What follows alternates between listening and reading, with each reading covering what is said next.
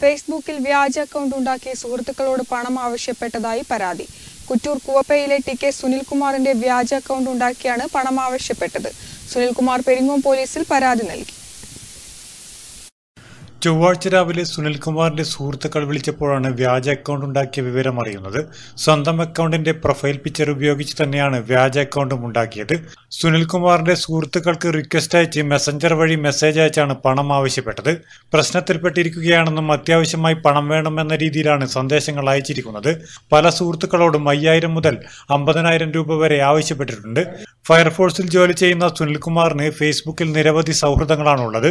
ആദ്യമായാണ് ഇത്തരത്തിലൊരു അനുഭവം ഉണ്ടായതെന്ന് സുനിൽകുമാർ നെറ്റ്വർക്ക് ന്യൂസിനോട് പറഞ്ഞു. ഞാൻ പെരിങ്ങോ ഫയർ ആൻഡ് റെസ്ക്യൂ സ്റ്റേഷനിൽ സീനിയർ ഫയർ ആൻഡ് റെസ്ക്യൂ ഓഫീസറായിട്ട് വർക്ക് ചെയ്യുന്നു.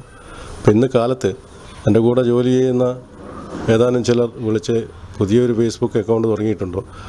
എന്തെങ്കിലും പൈസക്ക് ആവശ്യമായിട്ട് വന്നിട്ടുണ്ടോ എന്ന് ചോദിച്ച് എന്നെ വിളിച്ചപ്പോഴാണ് എന്റെ ഫേസ്ബുക്ക് അക്കൗണ്ട് ഹാക്ക് ചെയ്തതായും അതിൽ കൂടി പണം ആവശ്യപ്പെടുന്നതായിട്ടും ഞാൻ അറിഞ്ഞത്.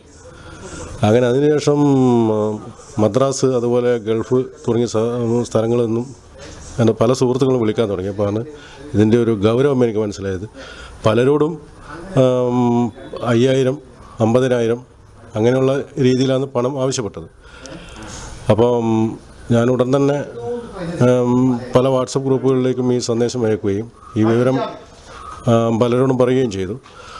അപ്പം അങ്ങനെ താൽക്കാലികമായി ഈ അക്കൗണ്ട് ഡിലീറ്റ് ചെയ്തതായി കണ്ടു.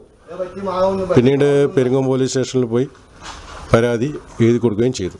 സംഭവം അറിഞ്ഞയുടൻ പെരിങ്ങോം പോലീസിൽ പരാതി നൽകി. ഇത്തരത്തിൽ ഓൺലൈൻ തട്ടിപ്പുകൾ സമൂഹത്തിൽ നിത്യസംഭവമാണ്.